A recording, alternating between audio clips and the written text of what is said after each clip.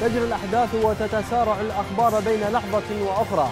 تحليلات معمقة تكشف ما وراء الكواليس.